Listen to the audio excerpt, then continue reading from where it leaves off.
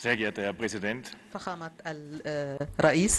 Zunächst einmal vielen Dank für die Gastfreundschaft, die uns hier entgegengebracht wird. Der heutige Besuch äh, ist ein würdiger und ein bedeutsamer Abschluss آه، هي بمثابة الختام المهم والكريم أيضا لرحلتنا إلى إفريقيا فمحادثاتنا اليوم كانت مكثفة وثرية فالنمسا ومصر بينهما علاقات آه، آه، تعاون وثيقة في كثير من المجالات الاقتصادية والأمنية.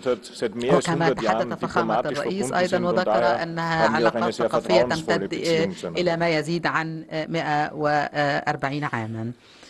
Ziel dieser Reise war auch Hedef eben, den Fokus auf die wirtschaftliche Zusammenarbeit zu legen. Es الجانب الاقتصادي وتوقيع المزيد من مذكرات التفاهم مع شركات نمساوية ترسخ التعاون وتضع هذا التعاون أيضا نصب الأعين نتحدث عن البنية الأساسية للنقل والري والزراعة وكثير من المجالات التي سيتم توقيع الاتفاقات. فيها وبالنسبة لي آه، آه، آه، وما تحدث عنه فخامة الرئيس أيضا هو أن زيارة فخامة الرئيس إلى النمسا ستكون مهمة للغاية لأن مصر